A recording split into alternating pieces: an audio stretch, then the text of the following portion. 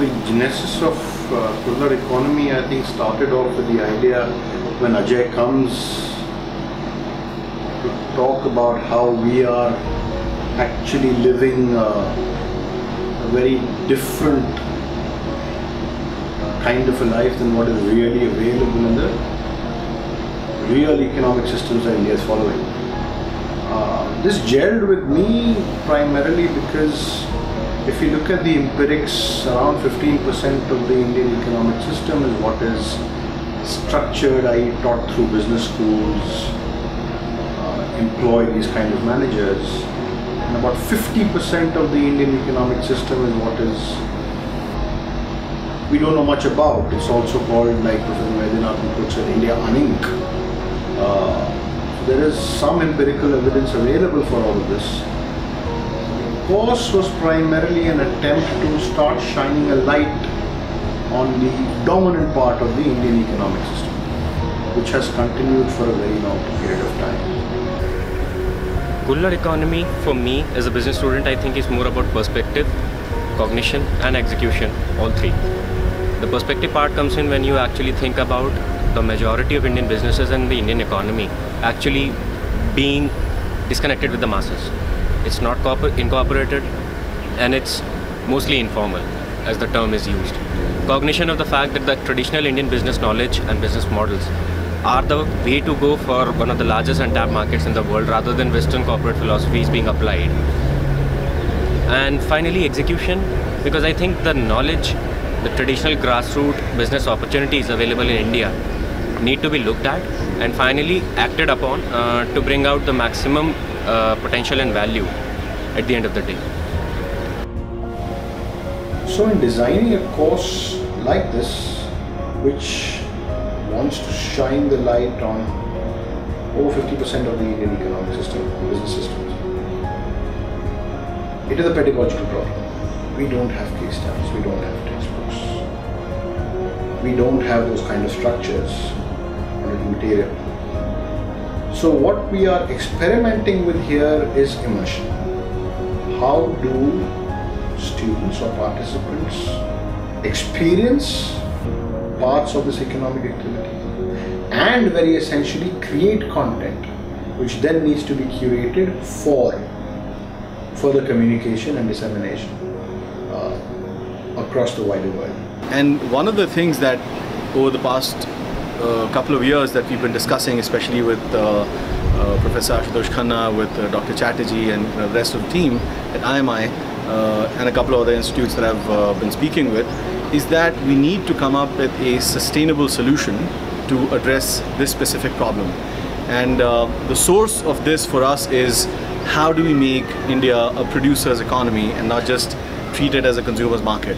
So with that in mind, uh, we um, you know had been brainstorming and uh, uh, came up with a course which is more uh, localized in nature but global in outlook. Uh, it, it, starts addressing the problems by actually looking at the problems locally and, and really getting the students to immerse in what the, the economy looks like from on the ground rather than just giving them a bookish overview.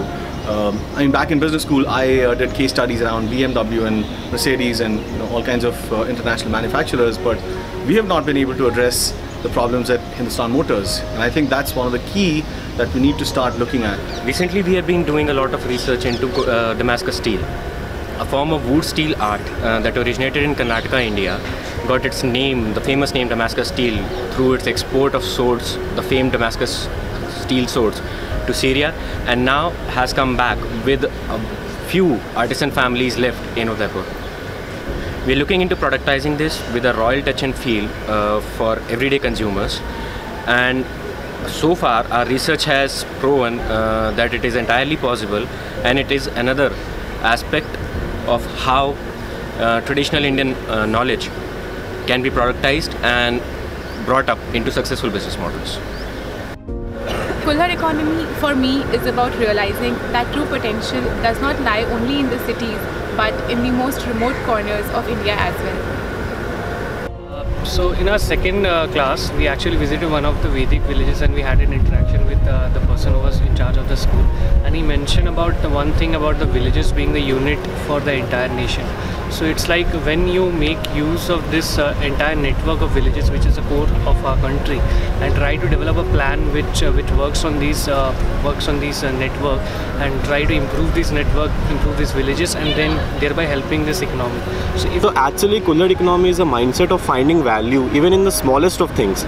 See, entre- entrepreneurial ventures are all about finding value. So Kullhad economy has brought in me a mindset in which I can see value even in the smallest of things, and hence make profitability out of it. My aim is to productize and market this red garlic, which is which is abundantly grown in the villages of Gujarat and is used extensively as an ingredient for gourmet cooking in European dishes. Uh, Kullhad economy has not been like any other subject that we are studying in this uh, curriculum. Kullhad economy to uh, me personally would be more of a realization other than any academic learning. The kind of uh, projects that we have done, the kind of people that we have met, uh, it has uh, more uh, uh, it has brought me more towards the basic economy that the Indian people held long back in the ancient times and then how can we bring the kind of economy back to the current present times and gain from it that's Kullhad economy is solving our economic problems using our traditional business models and business practices that have been used in the past and modifying them to suit our present economy.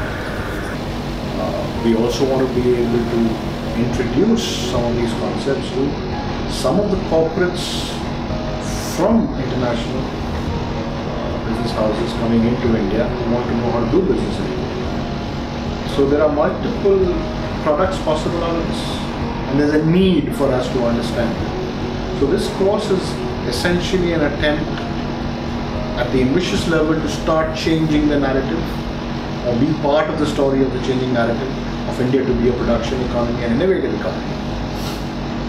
And uh, secondly, is to start understanding patterns of behavior, patterns and norms of business, the relationship based economies, the based structures that have always informed us, and how, hence, they produce and trade goods and have been doing so for a long period of time. So that's the attempt we have.